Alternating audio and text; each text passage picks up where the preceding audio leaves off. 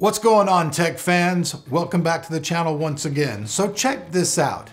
When we saw NVIDIA's 20 series cards come out, we saw a bunch of different TI models and we saw super models. But it seems like things are really changing right now with all the competition with AMD going on. So will we actually see super cards on the new 30 series of cards? Or with all the rumors going around, is NVIDIA going back to the TI series? Hmm, let's talk tech.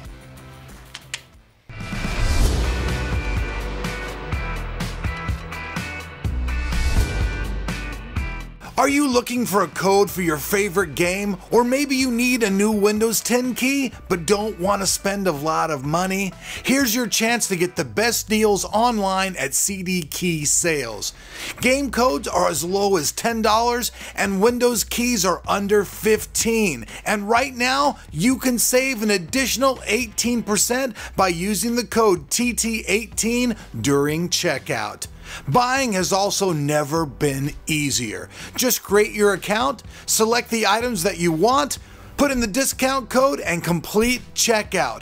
All of your purchases will be in your account ASAP, and all the keys and codes are guaranteed to authorize without a problem. So save big today and buy with confidence with CD Key sales. All right, so check it out.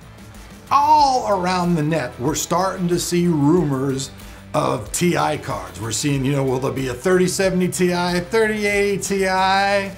Will there even be a 3060 Ti? I mean, there's all kinds of possibilities, but I'm really thinking that we're going to see TI cards before we see any super cards with this next generation of cards. And I think the reason that this is probably going to happen is the fact that AMD actually came across probably a little bit more competitive than really most people were thinking. I mean, I'm sure that NVIDIA, like me, and a lot of the people out there in the business were like thinking, okay, you know, AMD has made this promise of, you know, we're going to be kicking ass for years, and they've always just come up a little bit short. And, you know, even, you know, the, the, super hardcore AMD fans would still say, oh, you know, I was still, you know, a little bit disappointed with that. Well, with everything going on right now, NVIDIA could really release a whole lot of different cards, honestly.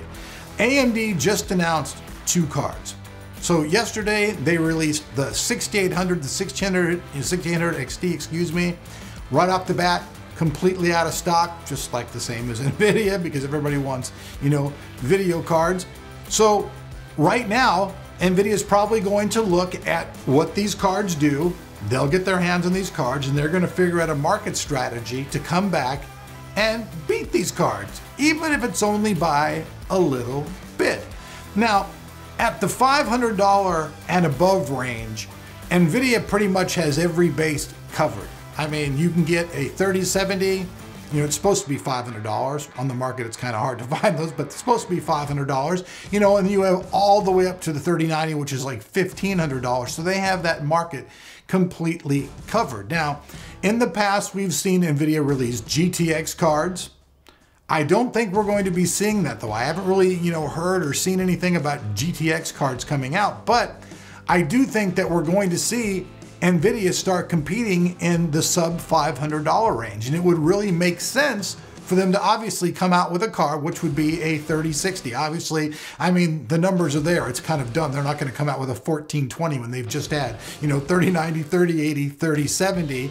Obviously, the next step would be a 3060. Now, What'll really be interesting though is if a 3060 Ti came out because that would be really interesting because we'd have a card that's going to be obviously the sub $500 range. It'll still have the RTX title in the front of it instead of being a GTX card and it'll be a TI card, which means it's going to be like pretty much like the best in its class. And at that point, I'm kind of wondering what AMD would really do to counter that because from the roadmap that I've looked at, it looks like AMD has some plans for making cards that are on the higher end of scales. And I mean, it's obvious they are going to release cards on the lower scale of things. We all know that. I'm just wondering how long it would really take AMD to whip that whip of cards coming out and then have something that would be able to beat a really top of the line 3060 card. Now, depending on the pricing, that will be a really big factor. I mean, we're seeing a $500 price range with the RTX 3070.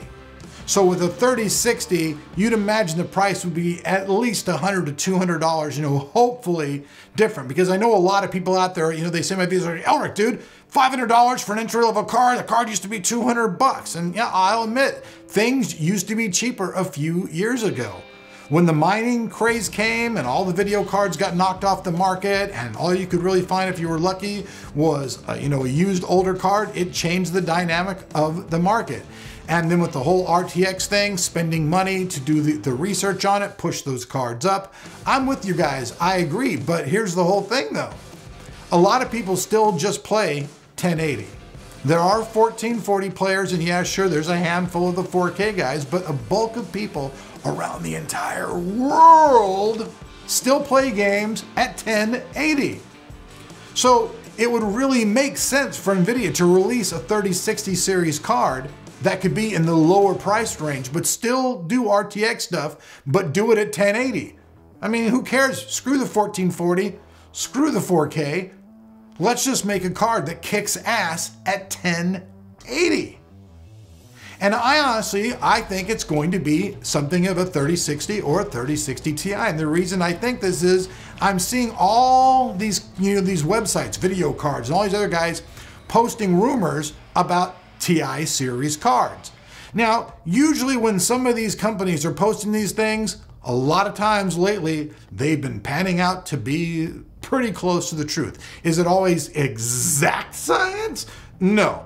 But many times when these guys are coming out with these rumors, they're correct. They were right about previous generation cards. They were right about the AMD cards. So when I see these companies out there making all these videos saying, hey, you know, we've got a leak about a TI card, I say TI cards are coming. And I think we're going to see TI cards before we see super cards. I just, just how I think it's going to be. And obviously, the next step would be an RTX 3060. So I predict, and I just think it's what's going to happen, is we're probably going to see an RTX 3060 Ti. That's what I think. I could be wrong, but I'm thinking, you know, that is a logical move. If it's not a TI card, I mean, I definitely think we're going to see an RTX 3060. There's no doubt because NVIDIA has 500 and all the way up, like I said, covered. They've got that ground covered. There's really nowhere for them to go. They're not going to create a two or three thousand dollar gaming card. I mean, they could, but you know, only the uber rich were going to be buying that stuff. So the target market now is lower income people. You know, people who can't afford to spend $500, who just have a 1080 system and they want to be able to play RTX games and be able to afford that shiznick. And that's just how it is. So let me know what you guys think. Have you guys seen all these rumors all around the place? Do you guys agree with me? I think we're going to see TI cards before we see super cards. Eh, could be wrong, but so far, I'm not really seeing rumors online saying RTX Super. Are you? I mean, do the math. I mean, obviously, you know, like they say, you know, every like little story has a little bit of truth, you know, to it. It came from the truth. You know, even Atlantis at one time was a city of some sort because, you know, Plato talked about it, you know, back a long time ago. So it obviously existed. Where it went to, hey, who knows? But thanks for watching, guys. I appreciate your viewage. Um, it's a strange year.